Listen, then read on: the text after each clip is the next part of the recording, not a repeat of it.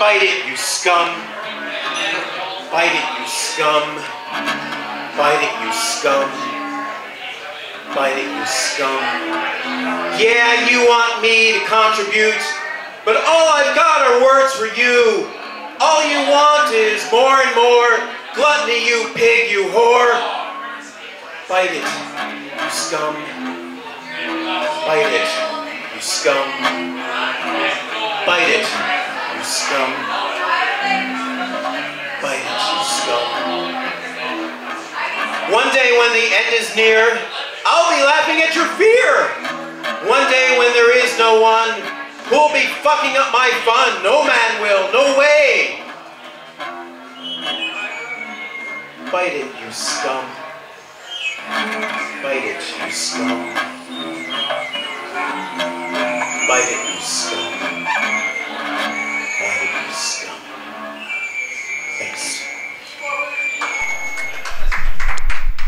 Flying a plane into another building is a little bit impractical.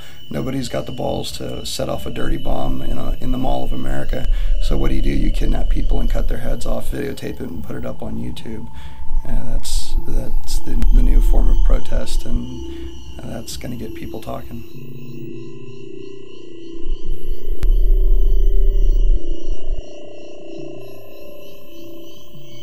There's no more middle class. It's either you have money or you don't have money. That's what I think. The middle middle class is, doesn't exist anymore, which it did. Either you do have or you do not have. The have and the have-nots. So that's what it's coming down to. That's what it is. What happened? morals. Things have changed. And, things have changed for the worse. I used to be a trooper, and I remember how people were not afraid. Now everybody's afraid of everything. Money rules. Thieves control. The almighty dollar. we can either like behave like them like the bad parts of this world or we can spend all of our time trying to like fight against them but either way we get caught up in the same dance. Or we just try to think about like life straight up and just be like okay this is real. We're here. I didn't become real.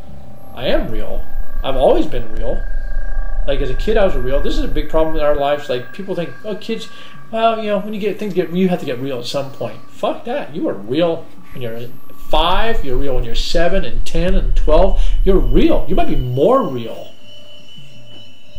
I mean there's nothing more real than a five month old kid who's just like i'm shitting out my ass right now. Oh i'm, I'm just spit up. Yeah i'm i'm tired. I'm hungry. Like i'm happy. That's just real. That's pure realness right there.